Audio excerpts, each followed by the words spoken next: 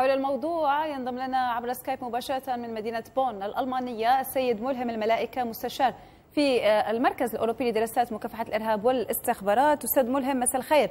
أهلا بك معنا خسائر على الأرض في يتكبدها داعش في الموصل خسارة وانهيار في العراق معركة الرقة في تقدم مستمر بالنظر إلى طبيعة التنظيم الانتقامية الإرهابية وما شهدته بعض الدول الأوروبية في الفترة الأخيرة من هجمات إرهابية خطورة العائدين أو الذئاب المنفردة المنتمين لداعش على الدول الأوروبية بالنظر إلى كل ما يعانيه التنظيم خاصة في مناطق الشرق الأوسط الآن نعم شكرا للاستضافة أولا ويعني مسألة عودة ما يسمى بين قوسين بإرهابي داعش وما يسمى ببعض وسائل الإعلام تسميهم بالجهاديين نعم. في الحقيقة في النهاية إصابات قتلة ترى مموع عليها عقائديا. دعني نتحدث عن عن أي نوع نتحدث من الناس. هناك أوروبيون انضموا إلى داعش وهم في الغالب يعني مصابين بلوندري دماغ بشكل كامل ويعيشون يوتوبيا غامضة وذهبوا للقتال. ومنهم المراهقة ليندا التي الألمانية التي تسكن بالقرب من مدينة دريسدن والتي ألقي القبض عليها نعم. قبل أربعة أيام في الموصل هذه الداعشية هي واحدة من أربع ألمانيات اعتقلنا قبل يومين في الموصل. هناك ثلاثة أخريات واحدة أصولها مغربية وأخرى من الشيشان ورابعة مجهولة الهوية. ما مستقبل عودتهن إلى أوروبا؟ المشكلة هنا كبيرة لأن آه. كيف تتعامل أوروبا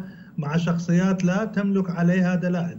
هؤلاء المعتقلات والمعتقلين بعنوان إرهابيين ألقي القبض عليهم متلبسين في مناطق. سيطرة داعش هذا ما في شك. لكن كيف ستقدم أدلة إلى أوروبا تقنع السلطات القضائية بأن هؤلاء منتظم منتمين إلى تنظيمات طيب. إرهابية؟ نعم. حضرتك يعني ربما حصرت الموضوع في النساء حتى ربما من هؤلاء النساء العائدات. ماذا بالنسبة للمقاتلين الذين تلقوا تدريبات إرهابية كبيرة على مستويات عالية؟ ومدى خطورتهم في العودة إلى الدول يعني الأوروبية ليست المسألة فقط مسألة تدريبات إرهابية هؤلاء قتلة شاركوا في قتل وتخريب مدن وإسقاط صحيح.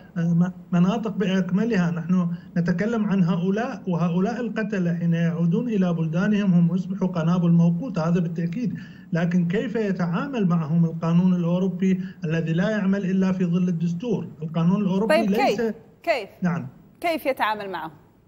نعم هو السؤال هنا. إن لن تتوفر أدلة على ارتكابهم جرائم هؤلاء يبرئوا بشكل كامل يعني. وللأسف هذا حقيقة مرة ولكن حين تتوفر معطيات كاملة حقيقية أنهم ارتكبوا جرائم مثلا إذا توفر فيلم لبعض القتلة أو توفرت قائمة بأسماء من قتلهم مع اعترافات من قبله يخضع هذا لتحقيق ويحال إلى محكمة ويسجن بموجبه.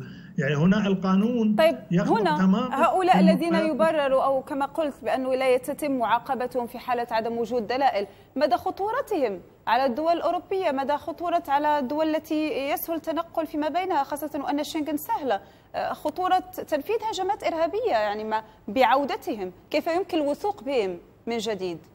يا سيدتي ألا ترين ما يحدث في كل أوروبا من هجمات يومية في صحيح كل المدن صحيح. الأوروبية؟ ألا ترين انسحاب بريطانيا بموجب البريكسيت من الاتحاد الأوروبي خوفا من تسلل الإرهابيين بعلم يعني بريطانيا أيضا ضحية لهجمات إرهابية كانت تحدث شهريا تقريبا. يعني الخطر قائم. الخطر قائم في كل الحالات.